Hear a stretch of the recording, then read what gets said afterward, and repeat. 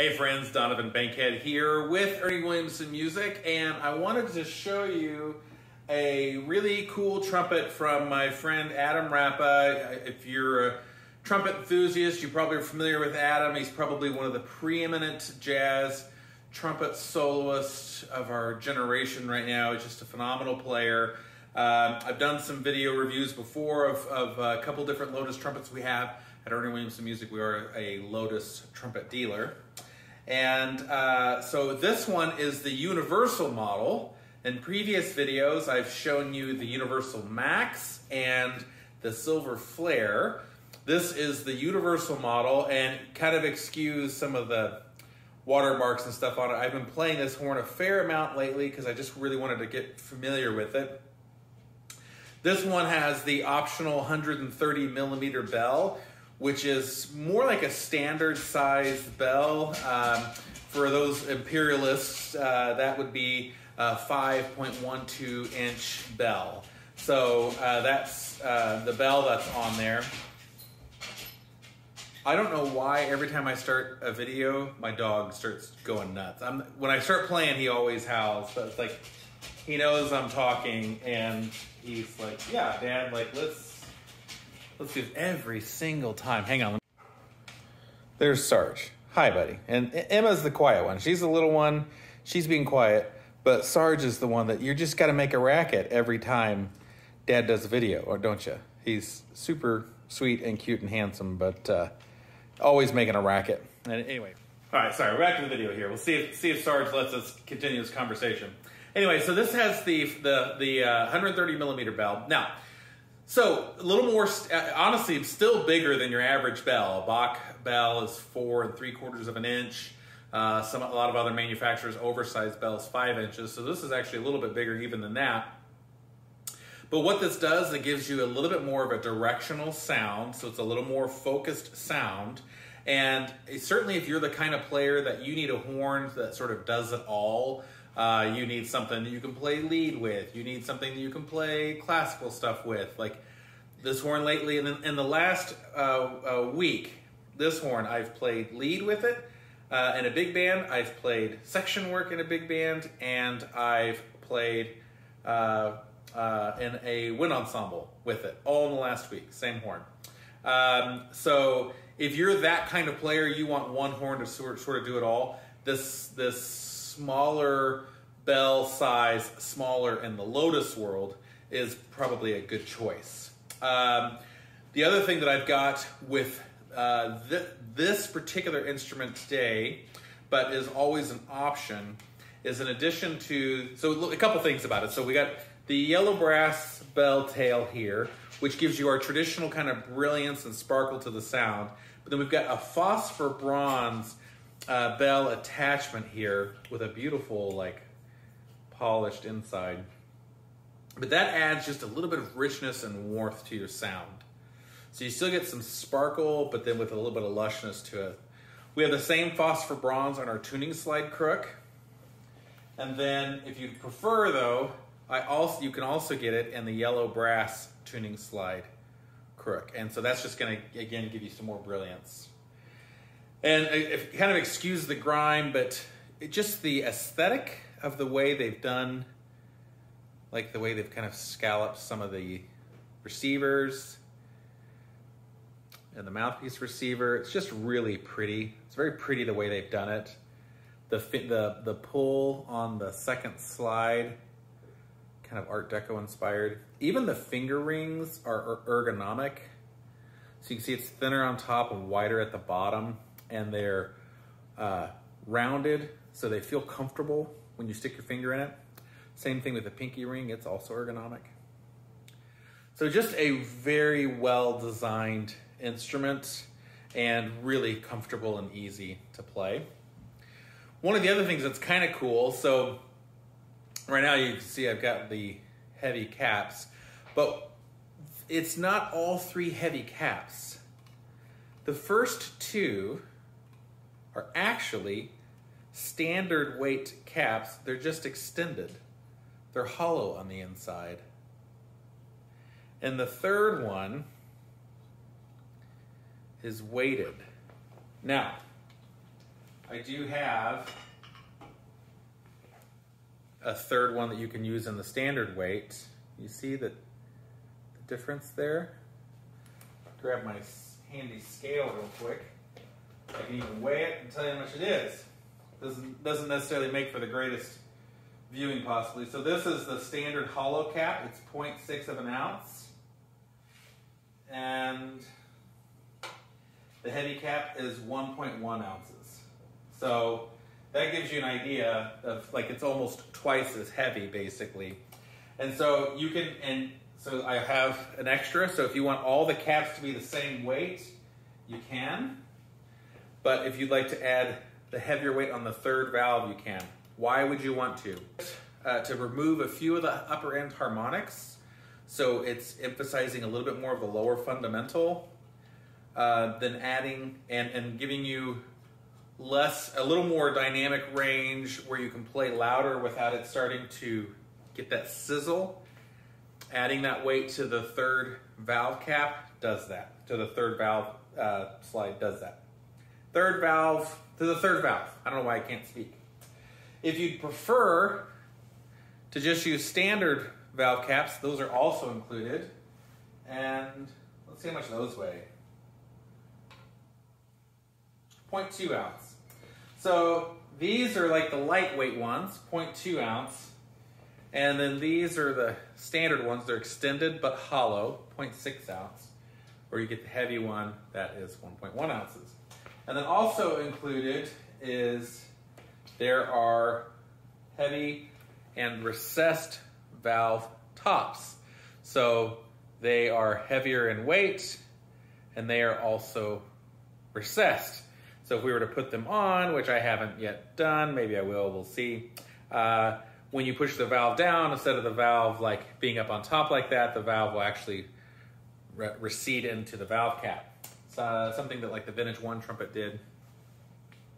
And honestly, I'd also be remiss if I didn't point out the valve tops. Like, those are just lovely. Super lovely. Okay, so a couple things. So Went through the bell already. This is super easy to play instrument. Um, the receiver is a lightweight receiver. It's, it's a machined bronze uh, receiver.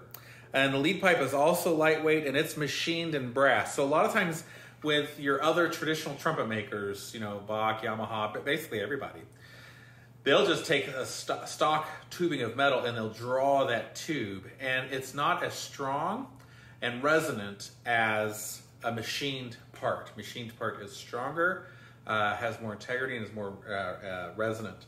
So these are all machined, um, and uh, so both both parts there are machined. And I'm kind of checking my notes here. Um, and this also, because of the uh, resonance and because of the uh, the machining process, it, you feel a sense of stability that you may not get in, in a traditional instrument. I mentioned the, the tuning slide materials. Uh, so, and again, they affect the sound. So this is going to give you a little bit more warmth. The yellow brass is going to give you a little bit of brightness. Okay. All right. So, um, in order to keep this video from being like an hour long, it's already getting kind of lengthy. I'm gonna, I'll play for you real quick in this configuration. I'm just using a, essentially a C cupped mouthpiece, standard mouthpiece, and uh, but we'll use it with with the phosphor bronze. I've got the heavier valve cap. And then I'll try a couple of variations where we swap out the valve cap, swap out the tuning slide, let you hear the difference, all while keeping the same mouthpiece. And because I can't think of anything to play, I'm just going to play scales and make stuff up.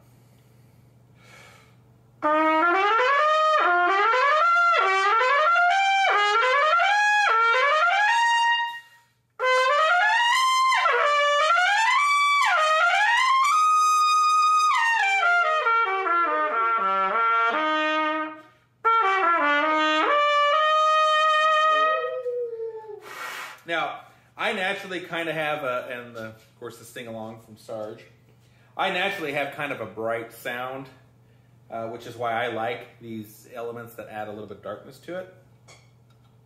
Your mileage may vary.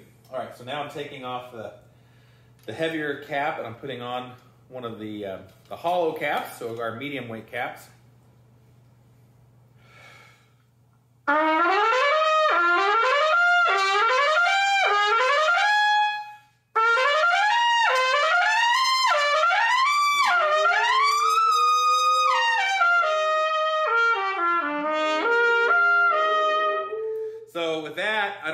Well this comes across on the on the camera, but I just hear a little bit more of those top resonant harmonics coming through with that mouthpiece or with that with that valve cap.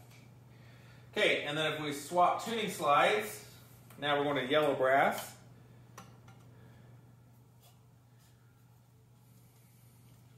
Got the yellow brass in.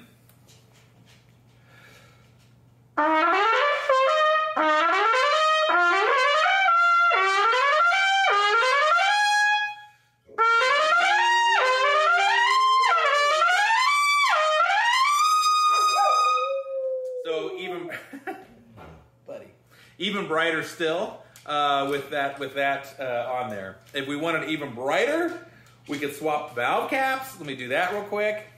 There it is with the standard bottom valve caps.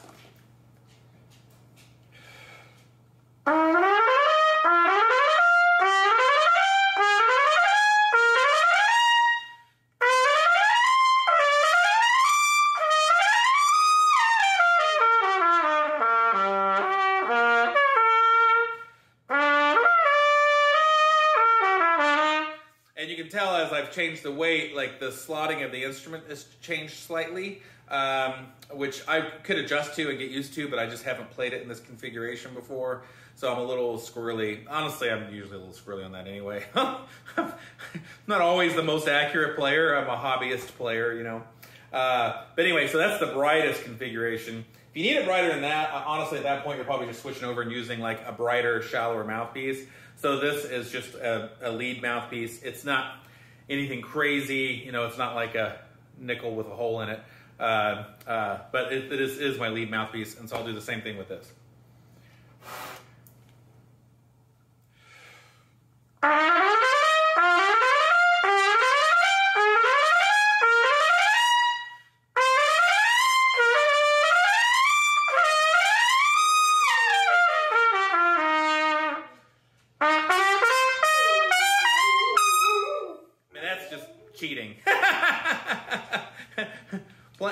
If you were to play in this configuration and you're a lead player and you're using a lead mouthpiece, you will probably find that you need to start backing off uh, from what you're used to playing on your other stuff. It's just, it is that much more efficient and easier to play. Okay, and for grins, I added the heavyweight valve tops. Now, I weighed these as well, and the standard valve tops are 0.2 of an ounce. That's what they look like. And the heavy valve tops are 0.6 of an ounce. So they're three times heavier.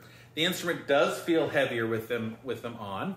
When I push the valves down, now instead of it being like sitting on top like the other one was, they're, they just are recessed and not screwed in all the way. So they're recessed, so you can see it's flush once it's pushed down. Instead of being on top like that, it's flush. And they're three times heavier. Um, my guess is this is going to make the sound even a little bit darker still.